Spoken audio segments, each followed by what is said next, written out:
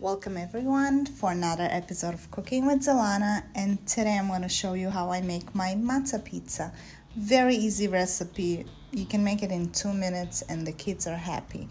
So basically you take matzah, you can take regular matzah, I took egg matzah, you can take shredded cheese, I in my case is cheesarella, either ketchup or pizza sauce. I love this Gefen ketchup. It tastes so good you put it on top spread it evenly all around with a spoon and put a cheese on top and that's it it's ready. You put it in the oven for 350 degrees for about like maybe five minutes and the pizza is ready. It's so yummy tasty.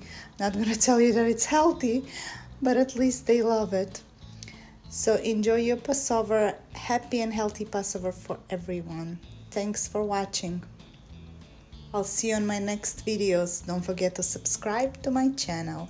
Like and share the videos if you like them. Thank you so much.